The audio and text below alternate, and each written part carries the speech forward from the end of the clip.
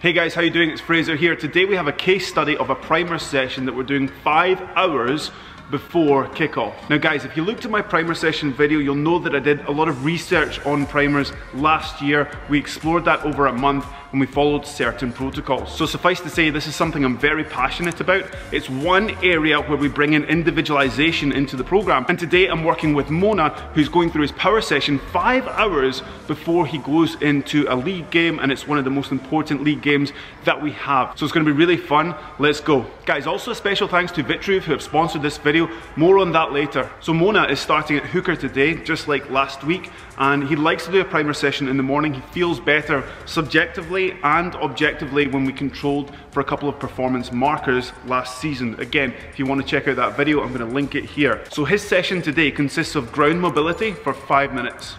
He then goes on to a walking mobility series with a couple of A skips. After that, he has to do five meters of banded accelerations, but all I'm really looking for here is that he's got a bit of a lean and he has a high frequency in his knee drive. So after that, he's good to get on to the main part of the session, and of course, he's playing in five hours, so the main part of the session is very, very short. All he has to do is three sets of two of power cleans from the blocks, superset with drop jumps for three sets of three reps. So in the cleans from the blocks, we're going at 65%, 75% and 85% of his 1RM. We're informing that process with the Vitruve encoder, which is a linear positional transducer which we can use to understand how much power we're actually putting into our power session. So it makes complete sense to link up a velocity-based device when you're working on power, so you know exactly where you are for every single rep, because as we know, intent is key when you're trying to develop power or get an exposure to true power and not just go through the motions, which is not what we want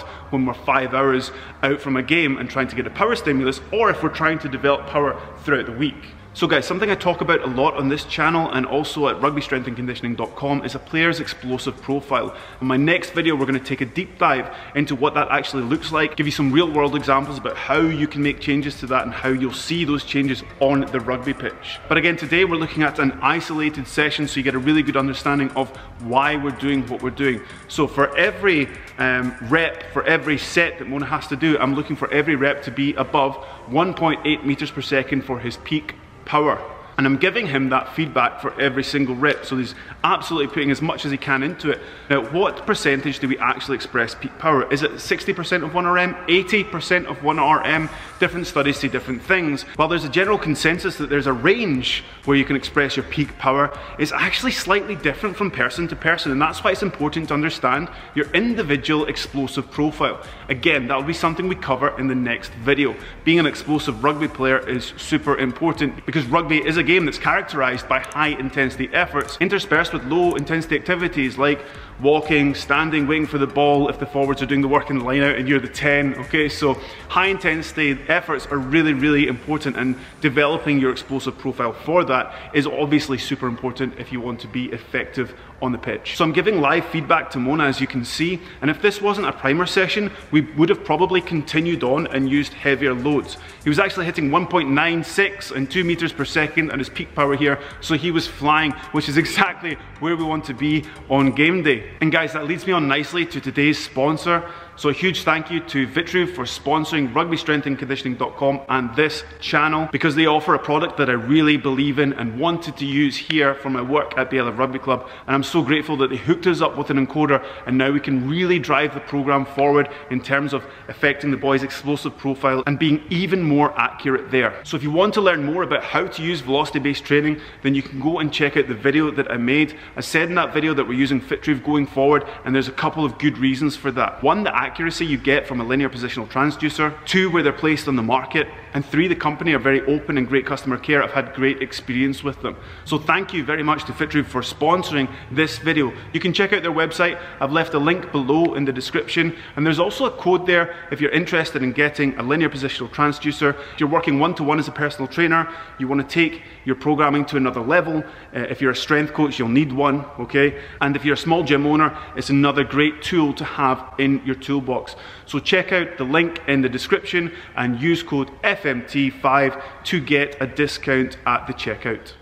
Okay, back to the primer session now. When we're doing the drop jumps, I'm only interested in the springs. I'm interested in a super quick ground contact time, all right? So yes, we're only going from 30 inches, and Mona was instructed to hit the ground and be as fast as he can off the ground. Remember, he's a hooker, so he's not gonna be the springiest in the team, but he is doing a good job here. And look, one of the things that people do is they start to go from higher, higher boxes, okay? And that would change what we're looking for in the exercise, and that's absolutely fine if we're working on explosive profile, etc. You're gonna do depth jumps instead of drop jumps. But here, the purpose of the exercise is to be really quick off the ground. So we have a loaded jump in the cleans, and then we're going to the other side of the spectrum when we're working on, on velocity and power, and we're doing an unloaded jump that has to be super, super quick. It's sub-maximal, and we're just looking for that quick ground contact time. And guys, after that, Mona did absolutely nothing. The session was done in 30 minutes. So really, the work he did was three sets of two on cleans from the blocks, where he was going 65, 75 and 85%, getting his feedback and making sure we were on track with the Vitruve encoder, all right? And then he goes into three sets of three after each set of the, the cleans on his drop jumps. And that's it, session done. Mischief managed, okay? That's what you want from the primer session. You want short, sharp, high intensity at the right intensity. Remember, if we were using 65% and he was going through the motions because I wasn't giving him, this was me doing the, the third pull of the clean, uh, if we were going through the motions and just doing 65%, you know, you could do that slowly, you could muscle it up, but because we had the Vitruve linear positional transducer, every rep mattered and counted so I was really happy with his approach and his performance today. And that's it guys it's that simple.